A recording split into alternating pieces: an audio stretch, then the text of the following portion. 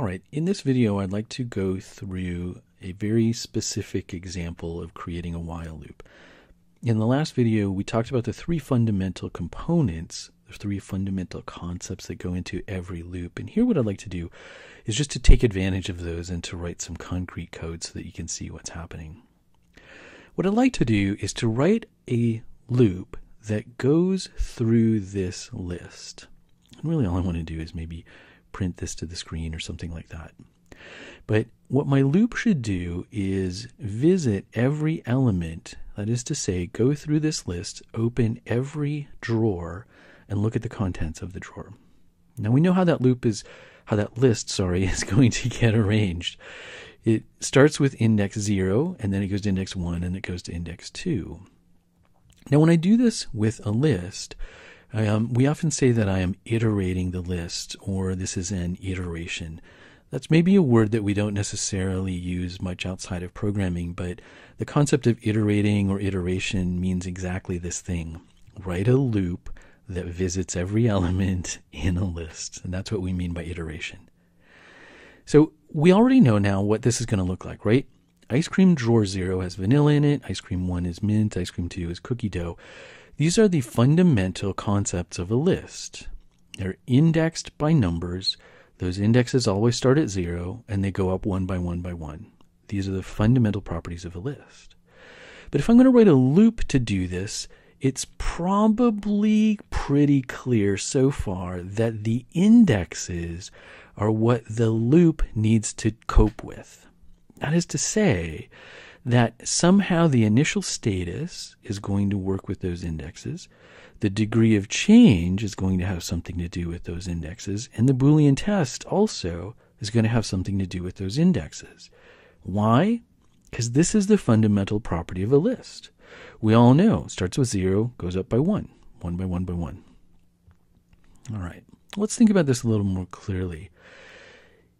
If I want to start at the beginning of a list, we know that lists always start with zero. So therefore, in my loop, my initial status will have something to do with index equals zero because that's where the list starts. So before I even get into my loop, that is the status or the environmental condition of the universe is that I need to be looking at drawer zero. We also know that in a list, we increase the drawer numbers by one all the time. Python does this automatically. We don't have to tell Python to do it one by one, it just does. So my degree of change is going to be increase that value of the index by one every time I go through the loop. That seems pretty obvious too. How do I know when I'm going to finish though? That's a bigger question. Now, if I asked Python what is the length of ice cream, it would tell me that there are three elements in that list. So that is a big clue to what I can do with my Boolean test. So the highest index in a three element list is two. And so what that means is that index will always be less than the total length of the list. And in fact, that's my Boolean test. I will continue to do this as long as the value in the bucket called index is less than the total length of my list. When index goes to 3, there is no bucket, sorry, there is no drawer 3. So when index equals the length of the list, that's a failing condition. My loop should fail out of that, and I should not even try to look in drawer number three because there isn't one. Perfect. All right. Let's just talk through this a little more carefully. So I'm going to set up a bucket called index. The initial status of the universe is that index will contain zero because I need to look at the very beginning of the list. That's perfect. What I'm going to be looking at is this.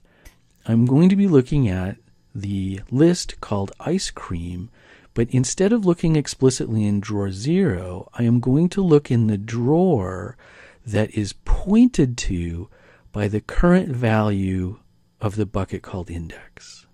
And so, what I need to do in my head is a bit of a mental substitution. I need to remember that index currently contains the number zero. So I remove the word index and I substitute the number zero. And I'm looking in ice cream drawer zero, which, of course, as we can see, is vanilla. At that point, I will increment or add 1 to index, and index becomes 1. And again, I'm looking in the list called ice cream, but I'm looking in the drawer that is pointed to by the bucket called index. So I need to do the substitution again in my head. What is contained in index? It's the number 1, so I substitute that in my head. Ice cream drawer 1 contains mint. Repeat. now index contains the number 2. I'm still looking at the list called ice cream, and I'm looking at the drawer that is pointed to by the bucket called index. Mental substitution. Index contains the number 2, so I do a mental substitution. I now happen to be looking at ice cream drawer 2, and that's cookie dough. Perfect. So my code is going to look like this. Footnote, if you're a programmer, don't panic yet. My code is going to look like this. I still establish my ice cream list, vanilla mint cookie dough 012. My initial status is going to be that I'm pointing to the zeroth drawer in the list. Right? So the bucket called index points to zero. My Boolean test is that I would like to continue this loop as long as the bucket called index is less than 3. Because when index points to 3, there is no third drawer, right? There's no, well, let me say more specifically, there's no drawer numbered 3, right? Which would be the fourth drawer. it's the third drawer. So, because there is no drawer 3, therefore that test should fail. That's my Boolean test, right? And then here's my degree of change. So every time I go through this loop, I will add 1 to the current value of index. That's my degree of change as I go through, right? Now, again, the place where people tend to get hung up is right here because there's two variables there and they get a little um, a little freaked out at that moment. So we just have to do that mental substitution, right? Remember, ice cream as the list is stable. It's not changing. Nothing is changing about it. You can look right up at the top line there and you can see exactly what ice cream is. I'm not changing the length of that list. I'm not adding anything. I'm not subtracting anything, right? We looked at lists before. I'm not appending anything. I'm not popping anything. I'm not doing anything. So, ice cream is stable. The only part of this that changes is that variable called index. And we can look at the other parts of my loop and I notice, oh, hey, index is going to go from zero. It's going to increment by ones as long as it's less than three. So in my head, I mentally start to substitute that. Okay, I guess that's ice cream, I guess, zero, and then ice cream one, and then ice cream two, and then, hmm, when I get to ice cream three, that's going to fail. So this is the part that I think people have a little bit of confusion with at first, and you just have to learn to read that, and it's actually just a mental substitution. Now, for those of you who are programming, uh, this is not really a good idea. And in fact, it's terrible. Here's why. Because as soon as I'm done with this video lecture, what I'm doing is I'm going to the store, and when I come home, this is what my ice cream list is going to look like. I'm buying more. So now my ice cream inventory list has five elements in it, but I have hard coded into the Python this number three. So if I run my code again, I will see vanilla and I will see mint and I'll see cookie dough, but I will never see strawberry or Neapolitan because my loop stops too soon. So I already know, though, that if I ask Python what is the length of my ice cream list, it will give me the right answer. It always does. It's truthful. It will tell me that there are five elements in that list. So what happens is that my code just broke because I hard coded in a number. I assumed that my ice cream list would always be three, but what if my ice cream list changes? My assumption about my data would be wrong. I need my code to reflect more accurately the status of my freezer. And so I need I need to make this a little more flexible. So you know the answer. We can see the answer already here. You can see what the hint is going to be. I am going to take out that hard coded number three and I'm going to put in the length of the list ice cream. And what that does is that if I go tomorrow or later this evening and I go buy more ice cream, then my loop will still function properly and it won't break because Python is always able to calculate the correct and true and accurate length of the list called ice cream. Now, I want to talk about this, and I'm going to get on a little bit of a soapbox here. So, you know, sorry about that, but this is what's important. This is a principle called abstraction. Abstraction just means that we're taking out some concrete, really specific things, and we're starting to replace them with something that's more of an idea or a concept or a representation. In this case, I'm just taking out the hard coded number three, which is concrete and specific, or what here should be five. I'm taking out the number five, and I'm asking Python to do something instead. That's a little bit more abstract than me just typing in 5.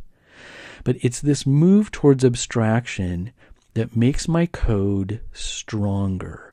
Now, my loop works always, no matter whether my ice cream list has 20 or whether my ice cream list has 1 or even 0.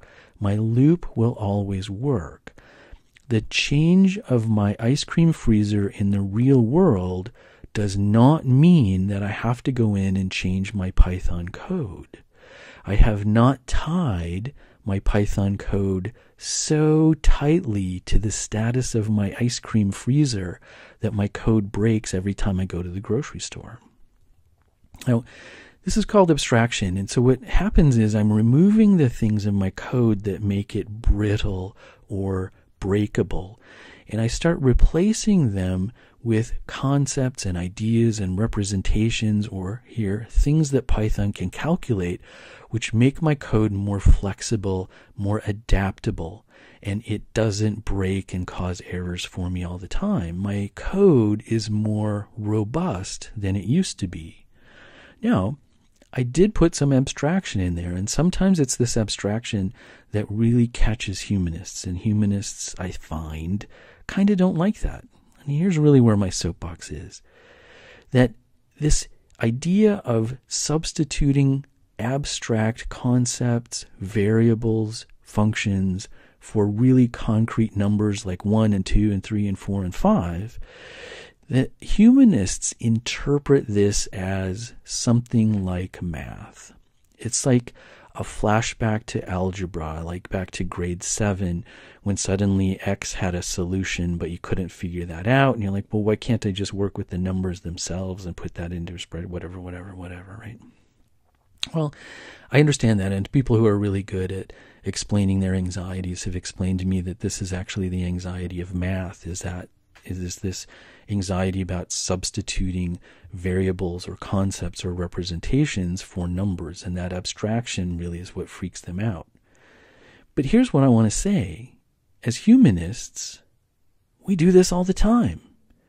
You know, we just came out of a theory class. We are working on like post colonial literary theory, or we just took semiotics, or we came out of a gender studies class, right? We're we're thinking in the social sciences about what it means to do quantitative research versus qualitative research, right? We're we're doing interviews and we know that we have to have these ethics clearances. All of that is abstract. You have people who come like out of a Victorian literature class and think, well, you see, you can't really understand what H.G. Wells is doing in The War of the Worlds until you understand the British Empire and the status of post colonialism in 1898. That seems to make sense to us. But then we get over to programming and we take out the number five and we put in length of ice cream and everybody flips a lid.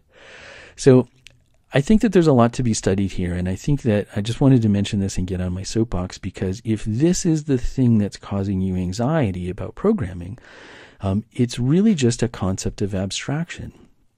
And so we can start to think about abstraction, we can deal with abstraction, we can work with abstraction. It isn't just what we're doing math, but we have a goal. We're working towards a goal. We want our code to be flexible. We want it to be robust. We need to kind of allow our code to figure things out for itself. We can't hold its hand all the time. Rather than telling it how many indexes there are, let's let Python figure out how many indexes there are. And once it starts to do that, that absolves us of responsibility for the code. The code becomes flexible, it becomes adaptable, it can respond to the real world around it, and we're not always making it break. And we don't have to be called in when it breaks so that we can fix it. All right, enough of that. End of soapbox, end of abstraction. We'll move on to the next video, which is going to be um, looking at uh, exactly the same process, iterating a list.